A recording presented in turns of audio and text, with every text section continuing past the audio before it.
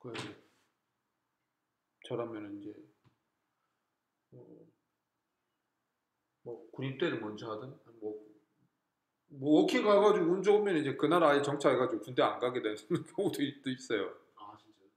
아니 그날 정차해 버리면 한국 시민권이 없어지는 예, 그쪽 시민권 받고 시민권 말소해 버리는.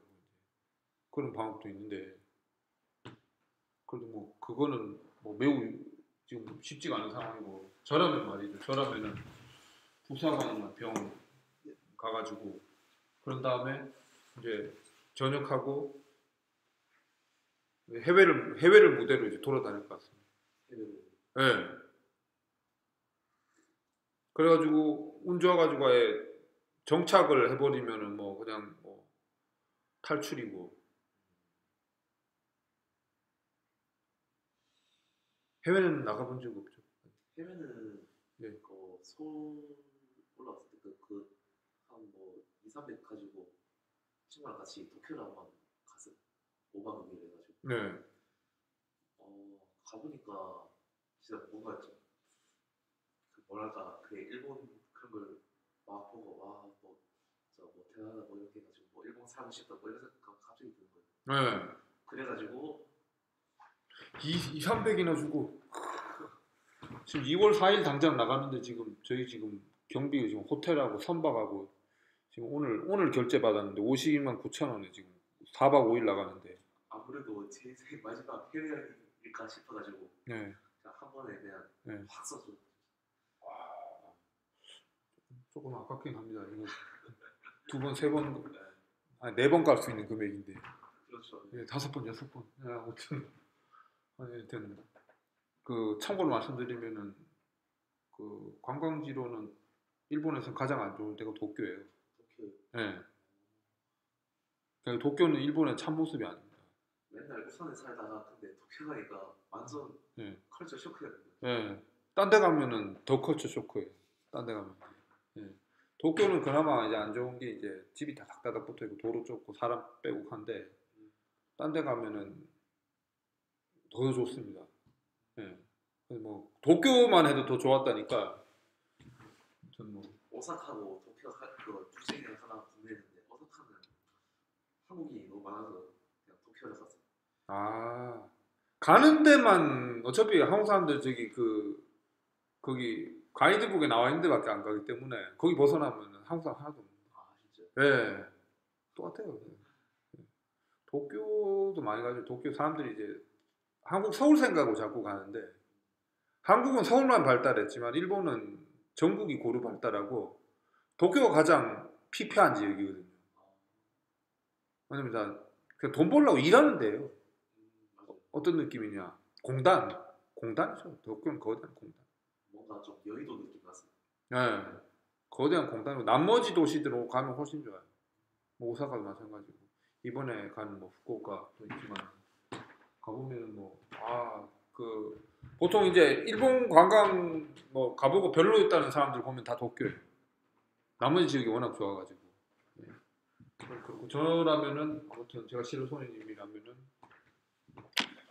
예, 해외로 이렇게 다니면서 잘 되면 정착이고 안 되더라도 뭐 외국어나 해외 전문가, 관광 전문가, 예, 그 이제 해외 정착 1 차선책 이제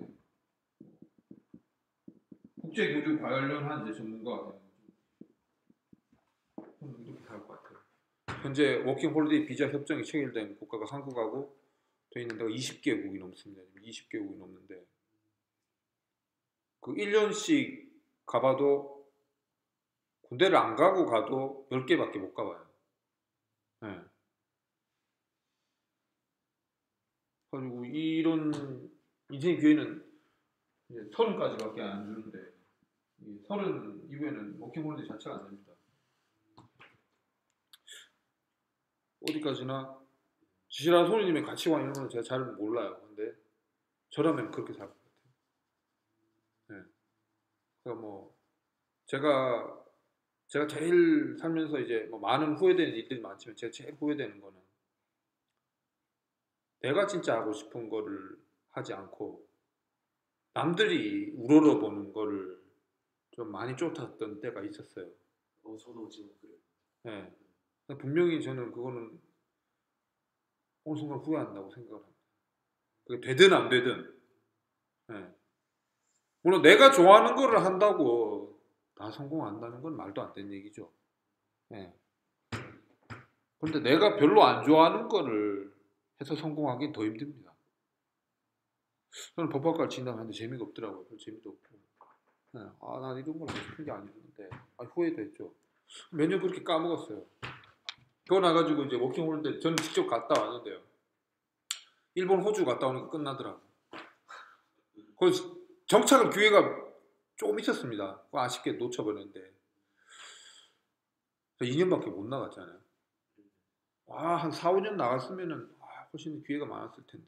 예. 지금 이제 저 같은 경우는 이제 뭐, 이 블로그에 써져 있지만은 동생이 미국 시민권자입니다.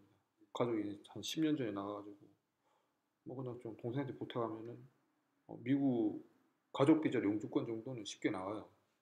근데 미국에는 별로 살고 싶은 생각이 없기 때문에 딴 데 이렇게 아, 뭐 지금도 뭐 나갈 게 있으면 나가고 싶고 지금 현재도 일하는 게 좀 계속 왔다 갔다 합니다. 사실상 이제 한국에 발만 걸어놓고 있는 상황.